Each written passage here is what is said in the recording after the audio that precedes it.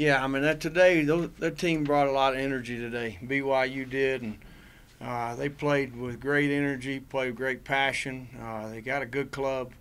Ball's just not bouncing their way right now, and uh, it was a it was a good baseball game today. I mean, we pitched it well, and uh, they pitched it pretty well also, and hit a big ball out of the ballpark, and uh, really proud of the way our guys came out on a Monday because it's it's not easy. It's not easy coming out on Monday or Tuesday after you play good on the weekend. Our guys are, like we've said before, they're kind of some brown bag guys and they like to play baseball. That's one thing kind of makes coaching them a lot of fun. You know, it was definitely a different experience considering. I mean, that was my first career start. You know, on this level. So, but you know, I when I was thinking when I was walking out there, just do my thing that I've always done my whole life. You know, just those strikes. You know, hit my spots. You know, just carve them up like I did today. I mean, I had a great day, and then great defense behind me. You know, rolling ground balls, all the fly balls. So everybody had a overall great day.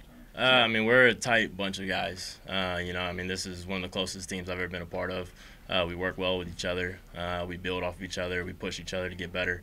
Um, you know, what we need to work on, I mean, of course, you know, playing on the road uh, is going to be a lot different for us. It's a great environment here.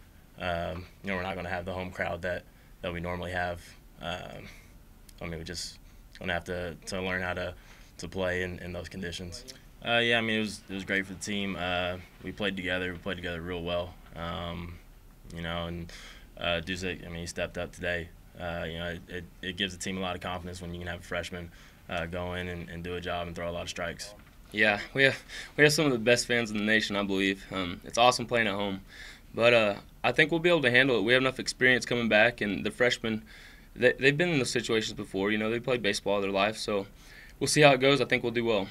Yeah, they're doing amazing. You know, the pitching's usually strong in the first part of the season, and they're doing great. Uh, the sticks will come, I think, but um, pitching's great.